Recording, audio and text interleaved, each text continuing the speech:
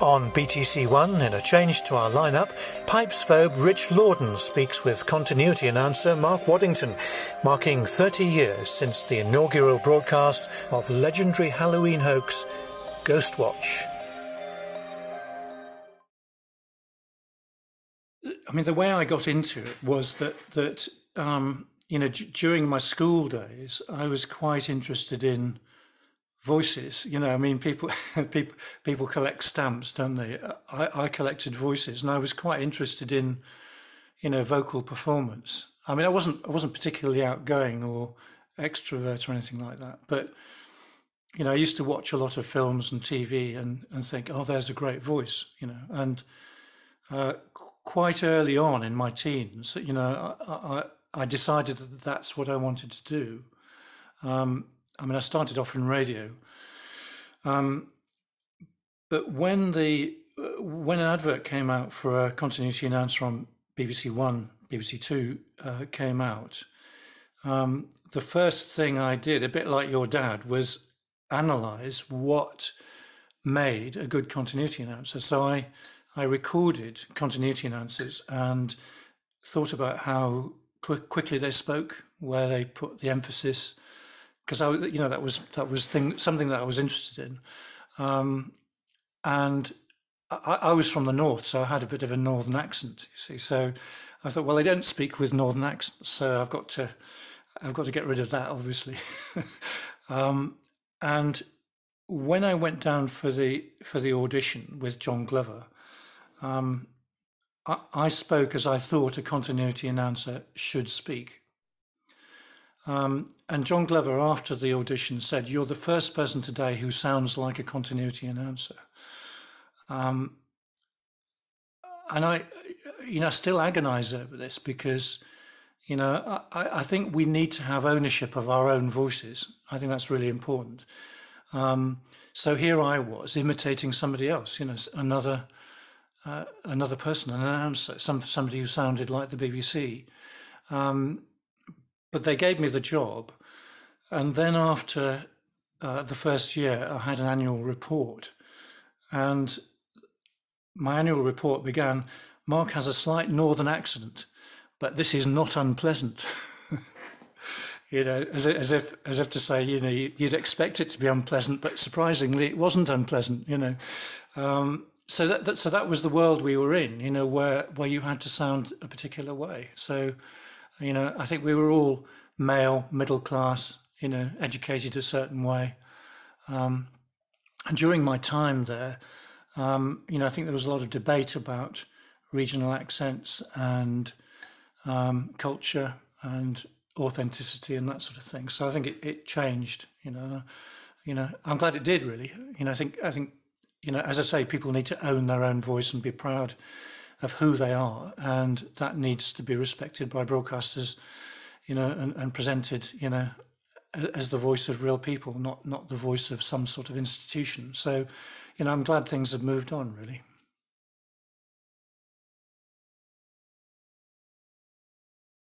What struck me at the time is very different from what struck me since. Um, I think you know, just going in reverse order, what what struck me since is that, um, you know, we're living in, I suppose, what people describe as a post post truth world. You know, where you know fake news and all that kind of stuff. Um, that that's interesting. Um, back then, I think we were at a transition between an old world which was very precise. I mean, you, you described your dad as uh, very analytical. I think, I think in that uh, that time, um, everything was about precision. Um, you know, announcers, the way they spoke had to be precise. You know, diction had to be precise, grammar had to be precise, um, meaning had to be precise, and and that was. I mean, I was I was trained by John Glover when I arrived at um, television centre, and um, and he was a stickler for all that. And one of the things you know he he instilled in me was that you know we had a role which was to make sure that the audience had the information they needed in order to make a decision about what they wanted to watch you know, and in particular parents. You know, they had to they had to have the information in order to be able to decide what they were going to allow their children to watch. So it was our job to be really clear about the genre, you know, uh, the context, and all the rest of it. Um, uh, since then, I think things have changed. You know, I think things are much more about personality, impact, brand, all that kind of stuff. But at the time, you know, I was straddling this old world and this new world. Um, you know, it was all about precision. And um, so when the uh, we we got VHSs of the of the programs to watch before they went out. So so on that morning, I settled down to watch a VHS of Ghostwatch, and I thought, you know, what what what's my job here? Well, my job is to say what genre it is and give people information. You know. Another interesting facet of this is that the announcers were, you know, prior to my time, I suppose, held in high regard. And they were kind of, they had an editorial responsibility. And their job was to view the programs and to, you know, along with the editors, flag anything that was of concern. So, you know, I could view a program and say, I'm not really clear about that, or there might be a bit of libel going on in this. And the editors would sort of scratch their heads and think, now, what do we do about this? Do we need to you know, put a slide up to clarify something or, or whatever. So, so the, the, the burden of editorial responsibility was quite large. We shared that with the editor, but the announcers, I mean, uh, you know, one indicator of this was that um, historically all, all the the transmission chain came through the announcer's cubicle. So the announcers had the power to, you know, turn off the network. it did. It doesn't happen like that now, as far as I know. But that was a, a signal that that you know the announcers were a kind of an authoritative person who had some sort of control and responsibility towards the network. So when I was presented with this Ghostwatch thing, my immediate reaction was to say, trick or treat. You know, this is this is um, this is a drama. It's uh, you know Michael Parkinson et al. playing a part. You know, they were. Uh, you know, it's it's not a real thing. You know, all, all the rest of it. I was thinking of all those parents. You know, who who were trying to make a decision about what what their children were wanting to watch because that's how I was trained.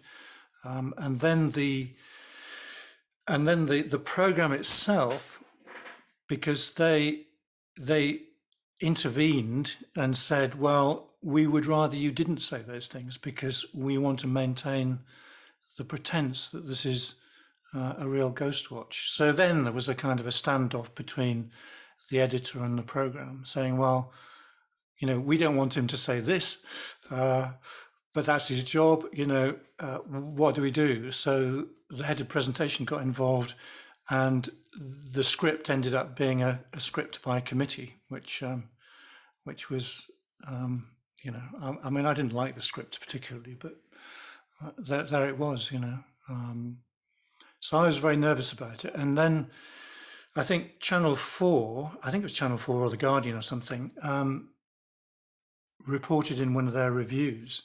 Uh, one of the one of the article writers said and the announcer didn't even make it clear that this was a drama. You know, I was thinking, you know, uh, this was this was kind of obviously a, a, sore point, really. But anyway, that that's that's how I, uh, you know, experienced it.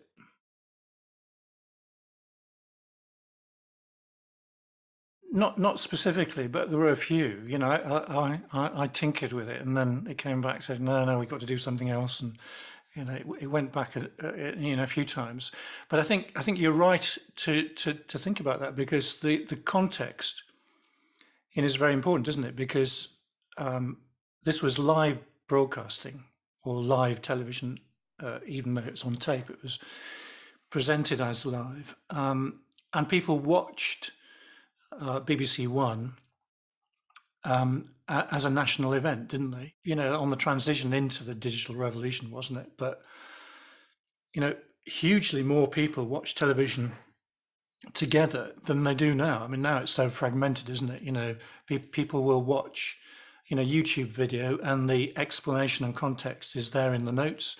People will watch something, you know, on iPlayer or the equivalent or Netflix, and all the information about the context and the background is there together with the program. But of course, um, in family viewing, you know, big national viewing, you know, in the corner of your living room, you know, it doesn't come with notes, does it? It doesn't come with those explanatory uh, details. So the job of the announcer is actually quite difficult because in just in a few seconds, you know, you've got to get across the important information that might help the viewer just understand w- what it is they're they're watching.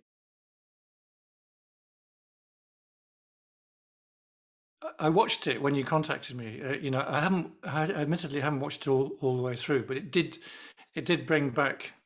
Uh, you know, I have seen it. I have seen it at least twice because I watched it on VHS before the transmission, and then I watched the live um, as live broadcast, and uh, so I've seen it twice, and then I've I've watched watched it uh, on YouTube since. Um, it is an extraordinary piece of television, and I, and I I can't say that I understand it necessarily. And I think it was a, you know, one of the things I, I, feel really strongly about is that the BBC and other broadcasters need the space to make mistakes and to experiment. And I think, um, again, this is this is going back to a to a previous era, pre-marketing and you know all that kind of stuff. Uh, when the BBC was much more producer-led, they made a lot more mistakes, but they also made a lot more gains in terms of experimentation and uh, and cut through in terms of innovation. Um, now I think it's much more difficult to be innovative. Um, so I, I, would defend the, the, the, right of any broadcaster to experiment and make mistakes. I think in many ways, know, I know people. Some people love it. Some people think it was a terrible thing. But you know, I think it was good that the BBC was able to have a go at that. Um, you know, I do I do question the aspect of viewer trust. Um, you know, if if you're a parent and you're trying to make a decision about what to watch, and your child does end up traumatized by something, you can reasonably say to the broadcaster, "Well, I trusted you on this, and you let me down." You know, uh, uh and I think that was probably one of the mistakes for some people um, because the first thing that I knew that there was going to be some sort of furor about about this was the editor ringing me up and saying we're getting an awful lot of complaints. Mm-hmm. uh, you know, ch- ch- ch- you know, parents are reporting that their children are, uh, are, traumatized, all the rest of it. So we knew something was, uh, you know, amiss. Um, but you know, um, I don't know what to say really. I, I think I think with hindsight, you know, it could have been handled differently. But as I say, I would defend the right of an organisation to, you know, to experiment really.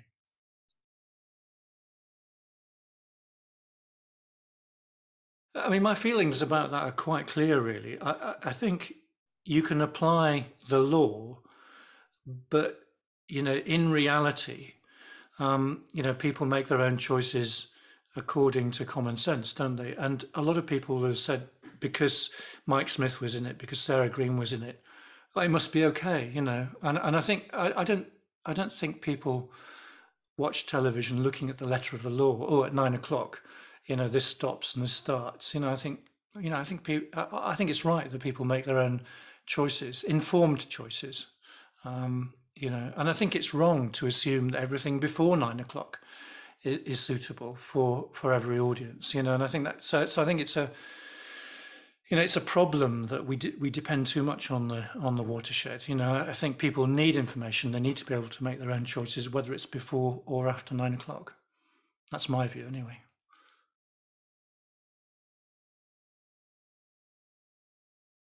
Well, I, I moved into production, you know, in the early 90s, around about the time of Ghost, Ghostwatch, I suppose. You know, I moved in to become a producer there. And um, I finished that in 2007. I sort of went on to do charity work and all sorts of other things. But um, I think I, I think what what the privilege has been has been that the BBC has changed radically from the 80s through the 90s to the you know 2020s. You know, there's been an, a, a complete and utter transformation with the explosion of channels. But the culture was completely different, and um, the BBC was relatively wealthy. It had, you know, the biggest market share. Um, producers led the way. Creativity was absolutely important. It, it, defined itself as, or wanted to define itself as the most creative organization in the world. It said that explicitly. Um, and, it, and it gave people the space to do that. And Television Centre was like the Hogwarts of, of the media. You know, it was like, you know, if you, if you were an aspiring wizard and went to Hogwarts, you know, you'd, you'd think, fantastic, this is where I should be. Well, if you were a broadcaster, you know, Television Centre was like that. You know, it was full of staircases and corridors with people doing extraordinary things. I mean, we, the announcer's office was next door to, um, at one point, Alexei Sayle's comedy writing office, you know, and, and the writers would pop in and, you know, we'd have chats with them. And then, um, you know, there were all these uh, workshops with people building incredible sets, and there was the Doctor Who scenery dock, you know, and all the props were there. And, you know, the whole building, you know, from news, current affairs, uh, all sorts of different kinds of programming, were all kind of mashed up together. Um, and that was a fantastic creative environment. I mean, when you went to the the canteen, you know, you'd be queuing up with um, a mutant from Doctor Who, and there'd be and and there'd be um, you know Ronnie Barker or some somebody like that, you know, queuing up for their egg and chips, you know, and uh, Warren Mitchell sitting down with Johnny Speight talking about scripts and stuff like that. So it was a, it was an incredibly creative um, atmosphere, and I, and I think I think that's disappearing now because the BBC's um, you know become much more of a publisher with uh, you know a lot more of that activity pushed out to little satellite organisations and independent companies. Um, not to say that that's wrong, but um, you know the, the, the critical mass, the intensity of that that creative atmosphere, that, that space was was very important, I think. Um, so whether, whether you know wh- where creativity will go, I'm not quite sure, but I do feel that that it's become much more marketing led. So um, broadcasting organisations will analyse. It's going back to analysis, a bit like your dad again, isn't it? You know, they, they will analyse what works, what doesn't. They'll create a formula, uh, and they'll and they'll they'll tie the producers and artists down to what works, and there'll be much less creative freedom to to experiment. So, so I think inevitably something has been lost. But you know, who knows? You know, I don't, I don't know. I, I can't really comment beyond that. But that's my suspicion that that creative people are feeling a lot more frustrated now because they're having to, you know, fit in with marketing demands.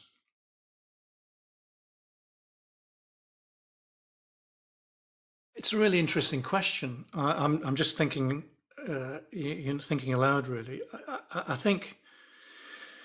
I think these uh, programs, like you know, the nine o'clock news, the ten o'clock news, um, local radio, you know, as in Alan Partridge uh, and others, they they have status in in the in the in the national scene, don't they? You know, they're they're they're part of our everyday lives, and I think that makes them a target, doesn't it? To, you know, for um, you know satirical or otherwise, uh, you know, writers. You know, and I think I think that's fair, isn't it? Really, you know, if somebody's in a privileged position, working on a TV station or a radio station, uh, and they have the honour and privilege of um, being listened to they also deserve to be challenged and mocked if necessary. And I think that's that's fair enough. You know, I think that's you know that's part of how our democracy works, isn't it? You know, I think you know I think we need more satirical uh, writers having a go at government and and so on. I and I think satire and poking fun is often a better way of um, presenting a critical voice uh, than than out and out confrontation, isn't it? It it sort of softens the edge, but it makes the point really, um, you, you, know, re- re- really in a powerful way, doesn't it? It's uh, you know, uh, poking fun and and and unpicking the, the absurdities of of you know, sometimes local radio. I mean, local radio, I think, went through a bit of a bad patch. I mean, I was part of the local radio scene, you know, in Leeds and, and Middlesbrough bef- before I went down to London. Um, and I think a lot of it was really quite bad. You know, what what was Alan Partridge? You know, and I'm I'm really glad that uh, you know there were people who who were prepared to say, actually, this this is a bit naff, isn't it? You know, let, let's let's take the piss out of this, you know, uh, and that's good, isn't it? Because it keeps everybody on their toes.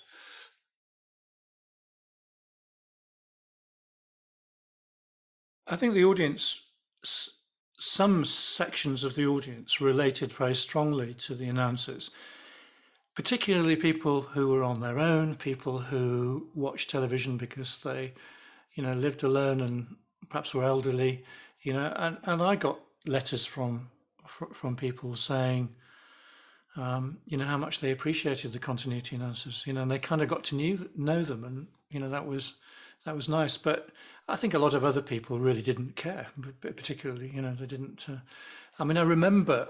Um, was it the late late breakfast show? They did a, a stunt where they put a camera in somebody's home and watched them watching television live. Um, and then Noel Edmonds would uh, suddenly say to that particular viewer, I'm watching you, you know, as if to say, you know, it's a bit spooky, isn't it? You know, I, I can see you, uh, kind of thing. But we get we get a feed of that. I mean, it sounds terribly creepy now, doesn't it? But we'd get a feed of that particular um, household coming into the continuity suite. So as I was doing the continuity announcement into um, Noel Edmonds' show, I could see this family sitting there watching it. And you know, my my recollection is that they didn't, you know, they, they didn't really care. You know, they were they were eating their crisps and not really taking any notice at all. you know, it was quite demoralising. I, you know, I, I felt you know, I had the urge to say, actually, I can see you, you know, you, you know just, just pay attention. But obviously I'd, I'd have got the sack if I'd done that.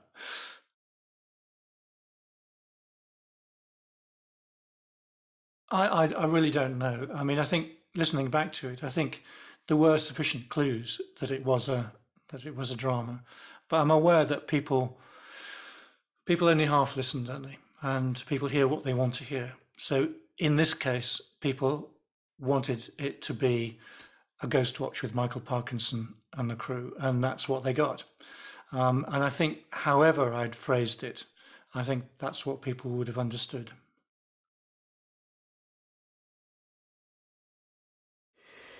Well, if you enjoyed being scared witless, something ghastly next here on One.